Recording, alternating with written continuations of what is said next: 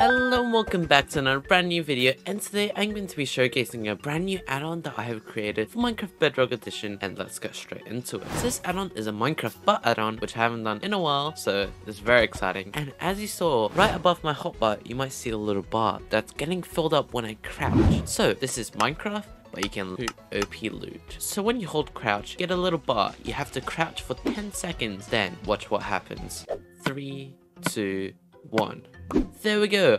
I just pooped out some OP loot, a diamond block and some bottles of enchanting. And laying OP loot, as you can see, it just pops out of my butt and then gives me some of the OP loot. This time I got some ender pearls and a bit more bottles of enchanting, which is very useful. So if you want more examples on the loot table of this add-on, I'll just, you know, spawn in some OP loot and there we go. Here is some. You get randomized enchantment books. Rarely you get enchanted golden apples. You get potions. You get some netherite ingot, different types of ore blocks, and obsidian. And don't forget the anvil as well. This is all the items you can get in this add-on. And I think this is a very cool add-on. It's very unique that you have to crouch for 10 seconds, you warm up, and then you poop out some OP items. So that was a very quick add-on that I showcased today. The download will be in the description, the modbay, MCPEDL, and the MediaFire link.